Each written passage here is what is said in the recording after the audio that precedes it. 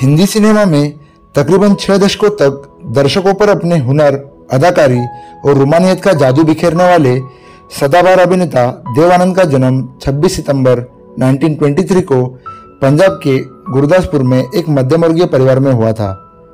देवानंद का असली नाम धर्मदेव किशोरीमल आनंद था। उन्होंने अंग्रेज़ी साहित्य में अपनी स्नातक की शिक्षा 1942 में लाहौर में पूरी की थी। 3 दिसंबर, वह तारीख है जिस दिन देवानंद साहब ने इस पूरे दुनिया को अलविदा कहा था, इस दुनिया से विदा लिए उन्हें 11 साल हो गए, लेकिन आज भी वो हर एक सिने प्रेमी के दिल में बसते हैं।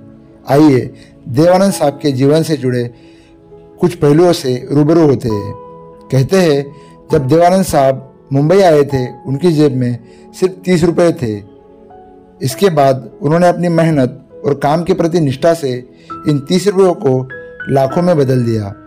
देव साहब को स्कूल में डीडी कहकर पुकारा जाता था। फ़िल्मों में कदम रखने से पहले और बीए की डिग्री प्राप्त करने के बाद उन्होंने नेवी में भर्ती का प्रयास किया था। लेकिन असफल रहने के बाद उनके पिता ने उन्हें अपने ही ऑफ़िस में क्लर्क के काम पर रख दिया। लेकिन किस्मत को कुछ और ही मंजूर था और देवानंद 22 की उम्र में मुंबई आ गए। वहाँ से उनका सफ़र कुछ ऐसा शुरू हुआ कि वो एक मिसाल बन गए। बता दे कि देव साहब की हिट फ़िल्म काला पानी में उन्हें काले रंग का कोट पहनने से रोका गया था, क्योंकि काले रंग के कोट में वे इतने हैंडसम लगते थे कि यह डर था कि कहीं लड़कियाँ उन्हें देखकर छत से कूद ना जाए। करियर शुरू करने के दो साल बाद फ़िल्म विद्या की शूटिंग के दौरान उन्हें सूर्या से प्यार हुआ। फ़िल्म के गाने किनारे किनारे चले जाएँगे में दोनों नाव पर सवार रहते हैं और नाव डूब जाती है। हीरो की तरह देवानंद सूर्या को बचाते हैं और उसी वक्त उन्होंने सूर्या से शादी का फैसला ले लिया। देव साहब ने उन्हें फ़िल्म के सेट पर तीन हज़ार रुपये की एक अंगूठी देकर प्रपोज किया था, लेकिन सूर्या की नानी इस शादी के खिलाफ थी। हालात कुछ ऐसे बने कि देव आनंद और सूर्या की राहें जुदा हो गई। लेकिन दिलचस्प बात यह है कि उसके बाद सूर्या ने कभी किसी और से रिश्ता ही नहीं जोड़ा और वो ताउम्र कुंवारी रही। बता दे कि देवानंद ने जो पहली गाड़ी ली थी, उसका नाम हिमलैंड मिम्बस था। उन्होंने ये गाड़ी सूर्य के साथ की गई फ़िल्म विद्या के पैसों से खरीदी थी। बहरहाल, देव साहब की ज़िंदगी में तब कल्पना कार्तिक आ गई। दरअसल, गुरुदत्त की पहली फ़िल्म बाजी में देवानंद और कल्पना कार्तिक की जोड़ी को लोगों ने खूब पसंद किया। इसके बाद दोनों ने कई फ़िल्में साथ की, जैसे आंधिया टैक्सी ड्राइवर नौ दो ग्यारह, इसी दौरान दोनों के बीच प्यार हुआ और फ़िल्म टैक्सी ड्राइवर के बाद दोनों ने शादी कर ली। क्या आप जानते हैं, फ़िल्म ज्वेल थीप में उन्होंने जो कैप पहनी थी वह कोपनहेगन से मंगवाई गई थी।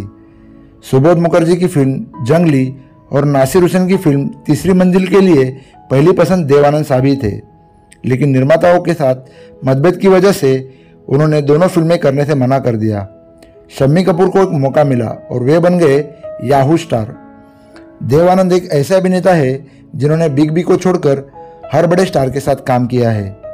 अमिताभ बच्चन जिस जंजीर फ़िल्म के स्टार बने, उसके पहले देवानंद को अप्रोच किया गया था। जून 1975 में तत्कालीन प्रधानमंत्री इंदिरा गांधी ने जब देश में आपातकाल लगाने का ऐलान किया तो देवानंद ने फ़िल्म जगत के अपने कुछ दोस्तों के साथ मिलकर उसका पुरजोर विरोध किया था। बाद में आपातकाल खत्म हुआ और देश में चुनाव की घोषणा की गई तो उन्होंने अपने प्रशंसकों के साथ जनता पार्टी के चुनाव प्रचार में हिस्सा लिया। बाद में उन्होंने नेशनल पार्टी ऑफ़ इंडिया के नाम से एक राजनीतिक दल की स्थापना भी की, लेकिन कुछ समय बाद उसे भंग कर दिया। उसके बाद भले ही वह राजनीतिक रूप से सक्रिय न रहे हो, लेकिन समय समय पर विभिन्न राजनीतिक मसलों पर अपनी बेबाक राय रखते रहे। देव साहब की फ़िल्म हरे राम हरे कृष्ण में उनकी बहन का रोल करने के लिए कोई अभिनेत्री तैयार नहीं थी।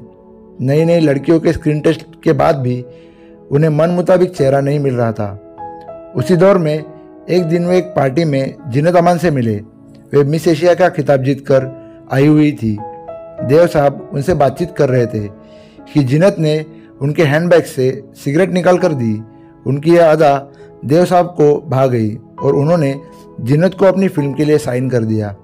सभी जानते हैं कि मोहम्मद रफ़ी साहब ने देव साहब की बहुत सारी फ़िल्मों में उनके सदाबहार गीतों को अपनी आवाज़ दी हुई है। यह जानकारी बहुत कम लोगों को होगी कि देव आनंद ने भी रफ़ी के लिए गाना गाया है। इन दोनों ने वर्ष 1966 में बनी हुई फ़िल्म प्यार मोहब्बत में साथ साथ गाना गाया है। देव आनंद ने एक बार इकतीस जुलाई को रफ़ी की पुण्यतिथि पर आयोजित समारोह में लोगों से इस राज को साझा किया था। उन्होंने बताया था कि मैंने कभी गाना नहीं गाया, लेकिन रफ़ी के गाने प्यार मोहब्बत के सिवा ये ज़िंदगी क्या ज़िंदगी में जो हुर्रे हुर्रे है, वो मेरी आवाज़ है।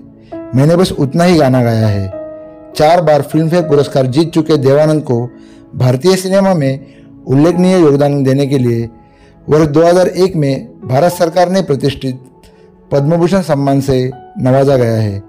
अगले ही साल, यानी 2002 में, उन्हें सिनेमा का सबसे बड़ा सम्मान दादा साहेब फाल्के पुरस्कार प्रदान किया गया था। 3 दिसंबर 2011 को देव साहब का लंदन में दिल का दौरा पड़ने से निधन हुआ था। अपने अंतिम समय तक वो लगातार सक्रिय रहे और उन्हें मीडिया ने एवरग्रीन स्टार कहा।